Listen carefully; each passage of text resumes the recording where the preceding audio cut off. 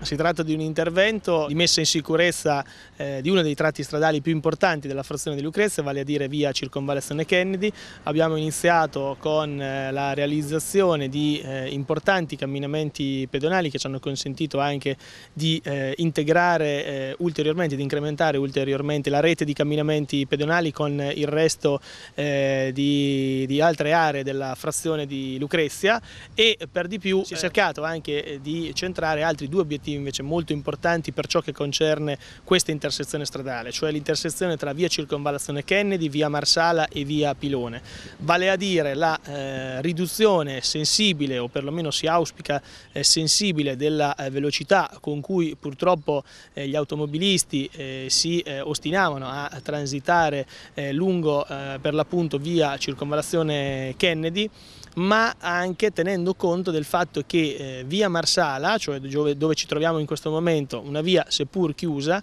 è eh, la via d'accesso e ovviamente anche eh, di uscita rispetto alla nuova scuola dell'infanzia, eh, il Piccolo Principe, che è stata inaugurata nel dicembre 2017. Quindi questo significa aver incrementato non di poco il traffico che caratterizza questa, questa strada e occorreva intervenire per mettere in sicurezza eh, l'accesso, ma come dicevo prima, soprattutto anche l'uscita da via Marsala su via Pilone e su via Circonvallazione Kennedy. I lavori diciamo, che stanno richiedendo purtroppo eh, oltremodo tempo rispetto a quello che avevamo preventivato, anche l'iter di approvazione del progetto esecutivo è stato eh, abbastanza, abbastanza, lungo, dal momento che abbiamo dovuto richiedere anche tutti i nulla osta a eh, RFI che eh, ci ha richiesto soltanto questo, diciamo, questa parte dell'iter amministrativo eh, di approvazione del progetto all'incirca un anno, però insomma contiamo ormai di camminare speditamente verso l'ultimazione dei lavori che sono sicuro riqualificheranno non soltanto esteticamente ma soprattutto funzionalmente sulla base di quello che ho detto prima questa intersezione così molto importante per il centro